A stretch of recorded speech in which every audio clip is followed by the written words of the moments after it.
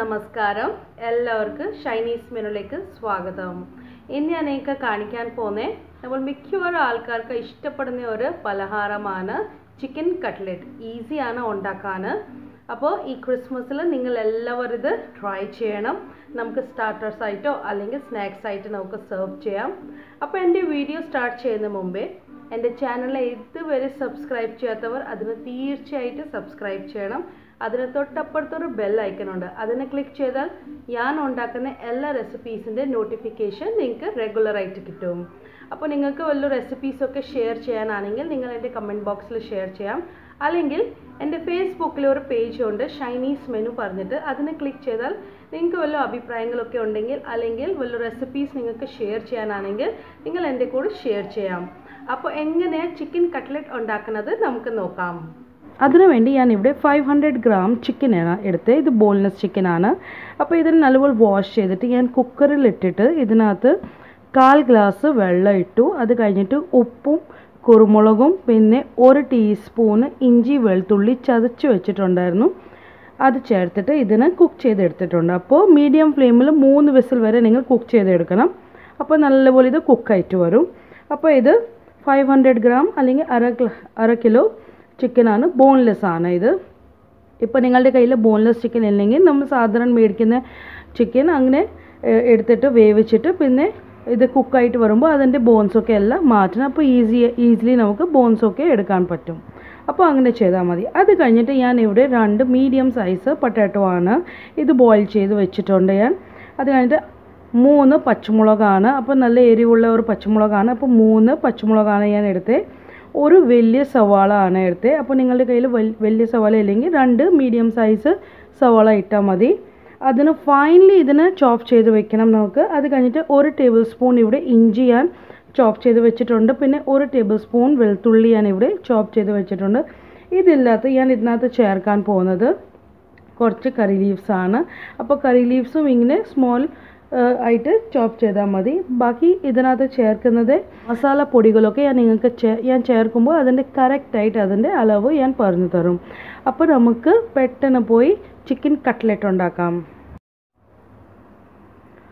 അപ്പോൾ ഞാൻ എന്ത് ചെയ്തിട്ടുണ്ട്? ആ ചിക്കനൊക്കെ ആ ബോയിൽഡ് ചിക്കനൊക്കെ എല്ലാം ഞാൻ ഗ്രൈൻഡറുടെ ചെറിയ ജാറിലാണ് ഇട്ട് അത് കഴിഞ്ഞിട്ട് ഇതിന് നമുക്ക് പൾസ് ചെയ്തെടുക്കണം. പൾസ് ചെയ്യുന്ന മീൻസ് ഇതിന് നമുക്ക് ഫൈനലി പേസ്റ്റായിട്ട് എടുക്കേണ്ട. ജസ്റ്റ് രണ്ട് മൂന്നാൽ പ്രാവശ്യം ഇതിന് പൾസ് ചെയ്താൽ ഇത് നല്ലപോലെ അരിഞ്ഞ് കിട്ടും. നിങ്ങളുടെ കയ്യിൽ ചോപ്പർ ഉണ്ടെങ്കിൽ ചോപ്പർ യൂസ് ചെയ്താൽ മതി. ഇതിന് പേസ്റ്റ് ഉണ്ടാക്കണ്ട. നമുക്ക് ജസ്റ്റ് ഒന്ന് രണ്ട് പ്രാവശ്യം ഇതിന് പൾസ് ചെയ്താൽ ഇത് നല്ലപോലെ അരിഞ്ഞ് കിട്ടും. അപ്പോൾ ഇത് ചെയ്തിട്ട് വരട്ടെ. അപ്പോൾ ഇവിടെയാണ് ചിക്കനൊക്കെ എല്ലാം ചോപ്പ് ചെയ്ത് കൊണ്ടുവന്നിട്ടുണ്ട്. ഗ്രൈൻഡറിൽ രണ്ട് മൂന്ന് പ്രാവശ്യം അതിന് പൾസ് ചെയ്താൽ മതി. വെള്ളമൊന്നും ചേർക്കണ്ട. ഇത് നമുക്ക് ഫുള്ളി ഡ്രൈ ആയിട്ട് എടുക്കണം.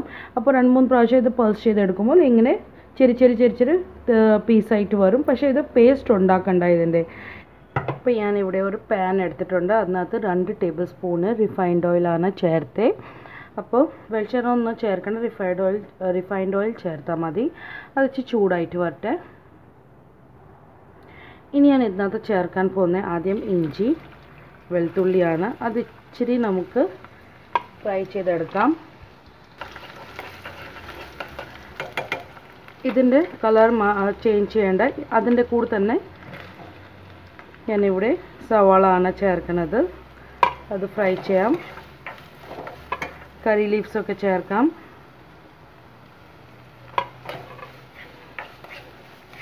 ഇത് സോഫ്റ്റ് ആയാൽ മതി. ഇതിന്റെ കളർ ഒന്നും ചേഞ്ച് ചെയ്യേണ്ട. ഇനി ഇതിനകത്ത് പച്ചമുളകാണ് ചേർക്കുന്നത് നല്ലപോലെ മിക്സ് ചെയ്തിട്ട് ഇതിന് സോഫ്റ്റ് ആകുന്നവരെ നമുക്ക് ഫ്രൈ ചെയ്തെടുക്കാം. ഒരു പിഞ്ച് കായം ചേർക്കാം ഇതിനകത്ത്. ജസ്റ്റ് ഒരു പിഞ്ച് ചേർത്താൽ മതി.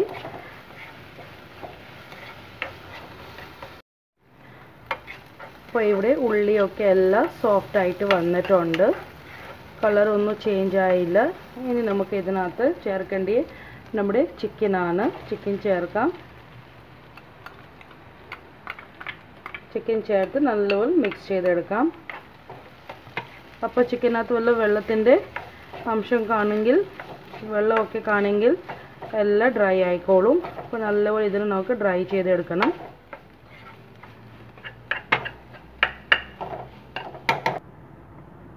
അപ്പോൾ ഇവിടെ ചിക്കൻ നല്ലപോലെ ഫ്രൈ ആയിട്ട് വരുക. അതിനകത്ത് ഞാൻ മുക്കാൽ ടീസ്പൂണ് ഗരം മസാല ആണ് ഇത് ചേർക്കുന്നത്. ഞാൻ മുക്കാൽ ടീസ്പൂണാണ് ചേർക്കുന്നത്. ആവശ്യമുണ്ടെങ്കിൽ വീണ്ടും ചേർക്കാം.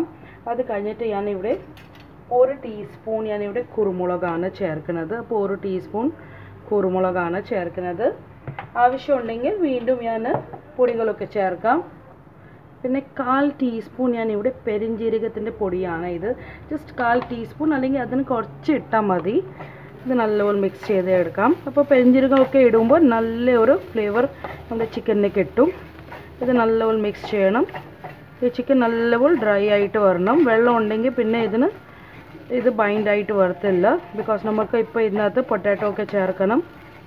അപ്പോൾ പൊട്ടാറ്റോ ഒക്കെ ചേർക്കുന്നത് നമ്മൾ ബൈൻഡിങ്ങിന് വേണ്ടിയാണ്. മസാലപ്പൊടികളൊക്കെ നല്ലപോലെ ചൂടായിട്ട് വരട്ടെ ഇതിനകത്ത്. ജസ്റ്റ് ഒരു മിനിറ്റ് ഇതിന് ഫ്രൈ ചെയ്തെടുക്കണം. ഇപ്പോൾ ആ പെരിഞ്ചീരകമൊക്കെ ഇട്ടിട്ടുണ്ട്. നല്ലൊരു സ്മെല്ല് കൊടുക്കുക ഇത്. ഇത് ചൂടായിട്ട് വരുക ഇനി നമുക്ക് ഇതിനകത്ത് നമ്മുടെ പൊട്ടാറ്റോ ചേർക്കാം. അങ്ങനെ കൈക്കൊണ്ട് ഉടച്ച് ഇട്ടാൽ മതി. അത് തന്നെ പിന്നെ മാഷ് ആയിക്കോളും ഇതിനകത്ത്.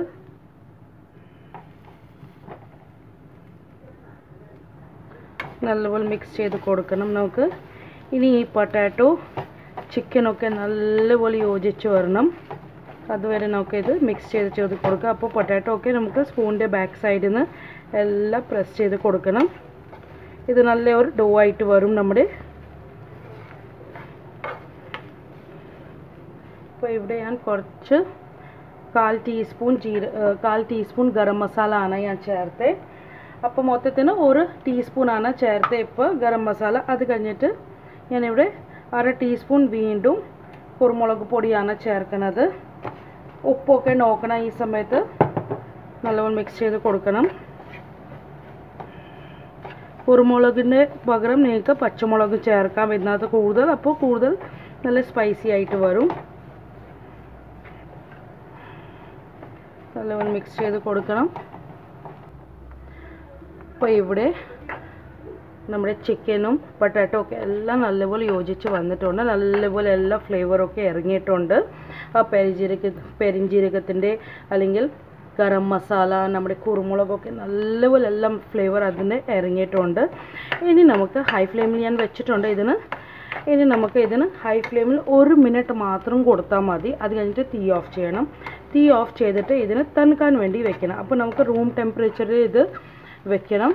ബിക്കോസ് നമുക്ക് ഇത് ഇനി ഇതിന്റെ കട്ട്ലറ്റ്സ് ആണ് ഉണ്ടാക്കുന്നത്. അപ്പോൾ ചൂടായിട്ട് നമുക്ക് ഉണ്ടാക്കാൻ പറ്റ പറ്റത്തില്ല. ചൂടായിട്ട് നമുക്ക് ഉണ്ടാക്കാൻ പറ്റത്തില്ല. അതുകൊണ്ടാണ് ഞാൻ ഇനി തീ ഓഫ് ചെയ്യുവാണ്. ഇനി ഇത് ഞാൻ തണുക്കാൻ വേണ്ടി വെക്കാം. ഇത് റൂം ടെമ്പറേച്ചറിൽ വരുമ്പോൾ ഇതിന്റെ ബാക്കി പ്രോസസ്സ് നമുക്ക് ചെയ്യാം. അപ്പോൾ ഇവിടെ ചിക്കനും പൊട്ടാറ്റോ ഒക്കെ എല്ലാം ഈ മസാല ഒക്കെ എല്ലാം നല്ലപോലെ തണുത്ത് വന്നിട്ടുണ്ട്. ഇനി നമുക്ക് ഇതിന്റെ ചെറിയ പോർഷൻ എടുക്കണം. അപ്പോൾ ചെറിയ പോർഷൻ നിങ്ങൾക്ക് എത്ര വലിയ കട്ട്ലറ്റാണോ ഉണ്ടാക്കേണ്ടത് അത് നോക്കിയിട്ട് എടുത്താൽ മതി. അപ്പോൾ നമ്മൾ എടുക്കുമ്പോൾ ഇങ്ങനെ ബൈൻഡായിട്ട് ഇത് വന്നാൽ ഇതിന്റെ മീനിങ് ചിക്കന്റെ മസാല കറക്റ്റായിട്ട് കറക്റ്റ് കൺസിസ്റ്റൻസിയാണ് ഇത് വിട്ട് പോയാൽ ഇതിന്റെ മീനിങ് ഇതിന്റെ ബൈൻഡിങ് ശരിയില്ല. അപ്പോൾ ഇങ്ങനെ കയ്യിൽ നിന്ന് നമ്മൾ എടുക്കുമ്പോൾ ബോൾ ഉണ്ടാക്കുമ്പോൾ കറക്റ്റായിട്ട് പിടിച്ചു വരണം. പിന്നെ നമ്മുടെ കയ്യിൽ ഇത് ഒട്ടിപ്പിടിക്കേണ്ട. ഇത് ഒട്ടിപ്പിടിക്കത്തില്ലെങ്കിൽ ഇതിന്റെ മീനിങ് കറക്റ്റാണ് ഇത് ഇപ്പോൾ അപ്പോൾ ഞാൻ കുറച്ച് വലിയ ഒരു നാല് എത്ര വലിയ സൈസാണ് നിങ്ങൾ അങ്ങനെ എടുത്താൽ മതി. ഇപ്പോൾ ഞാൻ ചെറിയ ചെറിയ കട്ട്ലറ്റ്സാണ് ഉണ്ടാക്കുന്നത്. ഒത്തിരി വലുത് വലുതില്ല. ഒത്തിരി ചെറുതില്ല. നല്ല നോർമൽ ഒരു സൈസാണ് ഇപ്പോൾ ഞാൻ ഇതിനകത്ത് രണ്ട് ടേബിൾ സ്പൂണ് ഡ്രൈ ഫ്രൂട്ട്സിന്റെ എന്റെ കയ്യിൽ പൗഡർ ഉണ്ടായിരുന്നു. പൗഡർ ഫൈൻ പൗഡർ ഇല്ല. അത് തെറി തെറിയായിട്ട് ഒരു അരച്ച് വെച്ചിട്ടുണ്ടായിരുന്നു. അപ്പോൾ രണ്ട് ടേബിൾ സ്പൂൺ ഞാൻ ഈ നമ്മുടെ ഡ്രൈ ഫ്രൂട്ട്സിന്റെ പൗഡറാണ്. ഗ്രാനുവൽസ് ആണ് ഞാൻ ഇതിനകത്ത് ചേർത്തത് അപ്പോൾ ഇതിനകത്ത് കാഷ്യൂ ആണ് അത് കഴിഞ്ഞ് ആൽമണ്ട് ആണ് പിന്നെ വാൾനട്ട് ആണ്. ഇത് മൂന്നാണ് ഞാൻ ഡ്രൈ റോസ്റ്റ് ചെയ്തിട്ട് അതിന് മിക്സിയിൽ മൂന്നാൽ പ്രാവശ്യം ഇങ്ങനെ ജസ്റ്റ് പൾസ് ചെയ്തപ്പോൾ അങ്ങനെ തരി തരിയായിട്ട് ഇത് പൊടിഞ്ഞ് വന്നിട്ടുണ്ടായിരുന്നു. അത് ഞാൻ രണ്ട് ടേബിൾ സ്പൂൺ ഇതിനകത്ത് ചേർത്തിട്ടുണ്ട്. ഇനി നമുക്ക് ഇതിന്റെ ബോൾസ് ഉണ്ടാക്കാം. അപ്പോൾ എത്ര വലിയ സൈസാണ് അത് നോക്കിയിട്ട് ചേർക്കണം. ഞാനിപ്പോൾ ഈ സൈസിലാണ് ഉണ്ടാക്കുന്നത്. ഒത്തിരി വലിയ വലുതായിട്ട് ഉണ്ടാക്കുന്നില്ല.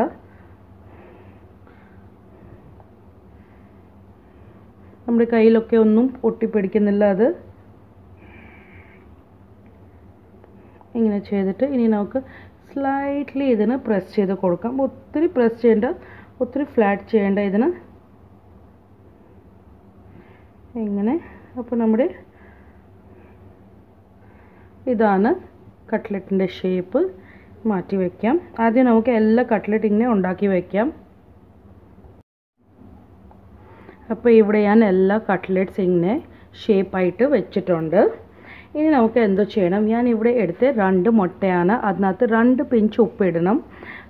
നല്ലപോലെ മിക്സ് ചെയ്ത് എടുക്കണം. രണ്ട് മുട്ടയാണ്. അത് കഴിഞ്ഞിട്ട് രണ്ട് ബ്രെഡ് സ്ലൈസ് ഞാൻ ചെറിയ ഗ്രൈൻഡറിൽ വെച്ചിട്ട് അതിന് ഇങ്ങനെ ക്രംബിൾസ് ആയിട്ട് എടുത്തിട്ടുണ്ട്. അപ്പോൾ ഇത് ബ്രെഡ് ക്രമായി അപ്പോൾ നിങ്ങളുടെ കയ്യിൽ ബ്രെഡ് ക്രം ആണെങ്കിൽ അത് യൂസ് ചെയ്താൽ മതി. ബ്രെഡ് ക്രം ഇല്ലെങ്കിൽ രണ്ട് ബ്രെഡ് സ്ലൈസ് എടുത്തിട്ട് അതിന് ഇങ്ങനെ മിക്സിയിൽ രണ്ട് മൂന്ന് പ്രാവശ്യം വിപ്പ് ചെയ്താൽ ഇങ്ങനെ ക്രമ്പിളായിട്ട് വരും. ഇനി നമുക്ക് എന്തോ ചെയ്യണം? ആദ്യം നമുക്ക് ഒരു കട്ട്ലറ്റ് എടുക്കണം. അത് നമുക്ക് മുട്ടയിൽ ഡിപ്പ് ചെയ്യണം. ഡിപ്പ് ചെയ്തിട്ട് നമുക്ക് ഇങ്ങനെ ബ്രെഡ് ക്രംസിന്റെ മേളിൽ ഇങ്ങനെ വയ്ക്കാം അപ്പോൾ നല്ലപോലെ ഇത് കോട്ടിംഗ് ആയിട്ട് വരും. വീണ്ടും ഇങ്ങനെ ഡിപ്പ് ചെയ്താൽ നമുക്ക് നല്ല ക്രിസ്പി ആയിട്ട് ഒരു ലെയർ കിട്ടും. അപ്പോൾ അപ്പോൾ എല്ലാം ഇങ്ങനെ തന്നെ നമുക്ക് മുട്ടയിൽ ഡിപ്പ് ചെയ്തിട്ട് നിങ്ങൾക്കാണെങ്കിൽ ഒരു പ്രാവശ്യം മാത്രം മതി. ഇങ്ങനെ ചെയ്തിട്ട് ഇങ്ങനെ വെച്ച് വെച്ച് പോകണം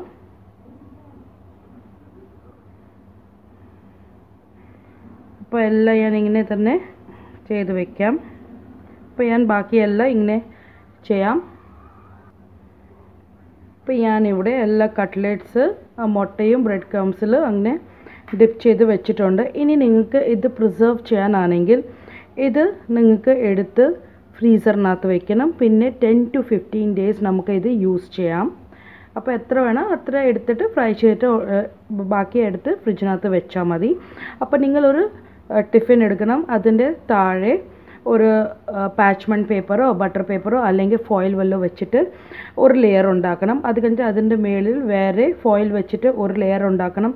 അപ്പോൾ ഇങ്ങനെ ഓരോരോ ലെയർ നിങ്ങൾ ഉണ്ടാക്കിയാൽ മതി. നിങ്ങൾക്ക് എത്ര ആവശ്യമുണ്ട് അത്ര ലെയർ ഉണ്ടാക്കിയിട്ട് ഫ്രിഡ്ജിനകത്ത് വെച്ചാൽ മതി. അല്ലെങ്കിൽ ഒരു പ്ലേറ്റിൽ നിങ്ങളെല്ലാം ഒരുമിച്ച് വെക്കണം. അപ്പോൾ ആദ്യം പ്ലേറ്റ് എടുക്കുമ്പോൾ ആദ്യം നിങ്ങൾ ക്ലീൻ ഫയൽ ആണെങ്കിൽ അത് വെച്ചിട്ട് അതിന്റെ മേളിൽ എത്ര പീസാണ് വരുന്നത്. പക്ഷേ ഒരുടെ മേലിൽ വേറെ ഒന്നും വെക്കേണ്ട. ജസ്റ്റ് സിംഗിൾ സിംഗിൾ ആയിട്ട് വെച്ചാൽ മതി. സിംഗിൾ സിംഗിൾ ആയിട്ട് വെച്ചാൽ മതി. അപ്പോൾ അത് കഴിഞ്ഞിട്ട് അതിന് ക്ലിങ് പേപ്പർ കൊണ്ട് റാപ്പ് ചെയ്തിട്ട് വീണ്ടും ആ പേപ്പറുടെ മേളിൽ നമുക്ക് വേറെ സെറ്റ് വെക്കാം. അപ്പോൾ അതിനെയും പേപ്പർ കൊണ്ട് റാപ്പ് ചെയ്താൽ മതി. അപ്പോൾ അങ്ങനെ ഓപ്പൺ ആയിട്ട് വെക്കേണ്ട. അപ്പോൾ ആദ്യം ഞാൻ ഇതിന് അറ്റ്ലീസ്റ്റ് ഫിഫ്റ്റീൻ മിനിറ്റ്സ് ഞാൻ ഇതിന് ഫ്രീസറിനകത്ത് വെക്കാൻ പോവുക അപ്പോൾ ഇതെല്ലാം നല്ല സെറ്റായിട്ട് വരും. അത് കഴിഞ്ഞിട്ട് നമുക്ക് ഇതിന് ഫ്രൈ ചെയ്യാം. അപ്പോൾ ഞാനിവിടെ ചിക്കൻ കട്ട്ലറ്റ് ഇനി ഷാലോ ഫ്രൈ ആണ് ചെയ്യാൻ പോകുന്നത്. നിങ്ങൾക്കാണെങ്കിൽ ഡീപ്പ് ഫ്രൈയും ചെയ്യാം. പക്ഷേ ഞാൻ ഇപ്പോൾ ഇപ്പോൾ കുറച്ച് എണ്ണയാണ് ഇട്ട്. അപ്പോൾ എണ്ണ നമുക്ക് മീഡിയം ഫ്ലെയിമിൽ ചൂടാക്കിയാൽ മതി. ഹൈ ഫ്ലെയിമിൽ വെക്കേണ്ട. അല്ലെങ്കിൽ നമ്മുടെ കട്ട്ലറ്റൊക്കെ എല്ലാം കഴിഞ്ഞ് ബേൺ ആയി പോവും. ഇനി നമുക്ക് ഒന്നൊന്നായിട്ട് ഇങ്ങനെ ഇട്ടിട്ട് വെക്കണം. എല്ലാം ഓവർ ക്രൗഡ് ചെയ്യല്ലേ ഇങ്ങനെ ഫ്രൈ ചെയ്തെടുക്കാം. അപ്പോൾ ഇതിന് ലോ ടു മീഡിയം ഫ്ലെയിമിൽ വെച്ചിട്ട് ഇതിന് ഫ്രൈ ചെയ്യണം. ഇപ്പോൾ ഇതിനകത്ത് തവി ഒന്നും ഇടണ്ട. ഇച്ചിരി ഇത് താഴേന്ന് ഇച്ചിരി ഫ്രൈ ആയിട്ട് വരട്ടെ. അത് കഴിഞ്ഞിട്ട് നിങ്ങൾ തവി ഇട്ടിട്ട് ഫ്ലിപ്പ് ചെയ്യുമ്പോൾ ഇത് ഈസിലി ഫ്ലിപ്പായിട്ട് വരും. അല്ലെങ്കിൽ ഇതിന്റെ മേളിൽ എല്ലാ കോട്ടിങ് എല്ലാം പോകും. നമുക്ക് ഇത് തിരിച്ച് കൊടുക്കാം. അപ്പോൾ താഴേന്ന് നല്ല കളർ വന്നിട്ടുണ്ട്. ക്രിസ്പി ആയിട്ടാണ് ഇരിക്കുന്നത് ഇപ്പോൾ മറ്റേ സൈഡും ഫ്രൈ ആയിട്ട് വരട്ടെ. അപ്പോൾ ലോ ടു മീഡിയം ഫ്ലെയിമിൽ തന്നെ ഇത് ഫ്രൈ ചെയ്യണം. സ്ലോലി ഫ്രൈ ചെയ്താൽ മതി. ബിക്കോസ് ഇതിനകത്ത് കുക്ക് ചെയ്യാനൊന്നുമില്ല ജസ്റ്റ് നമുക്ക് മേളി ആ കളർ വേണം. അപ്പോൾ നിങ്ങൾ ഹൈ ഫ്ലെയിമിൽ വെച്ചാൽ നമ്മുടെ ബ്രെഡൊക്കെ എല്ലാം ബേൺ ആയിപ്പോവും. പിന്നെ ആ ഫ്ലേവറേ മാറിപ്പോവും നമ്മുടെ. അതുകൊണ്ട് ലോ ടു മീഡിയം ഫ്ലെയിമിൽ തന്നെ ഇത് ഫ്രൈ ചെയ്യണം. അപ്പോൾ ഇതാണ് ഒരു കട്ട്ലറ്റ് റെഡിയായി രണ്ട് സൈഡിൽ നല്ലപോലെ ഇത് ഫ്രൈ ചെയ് ഫ്രൈ ആയിട്ട് വന്നിട്ടുണ്ട്. ഈ കളർ മതി നമുക്ക്. ഇനി ഇത് ഞാൻ പ്ലേറ്റിലോട്ട് മാറ്റാം. ബാക്കിയും അങ്ങനെ എടുക്കാം. അപ്പോൾ ഇതും നല്ലപോലെ ഫ്രൈ ആയിട്ട് വന്നിട്ടുണ്ട്. ഇത് മാറ്റാം.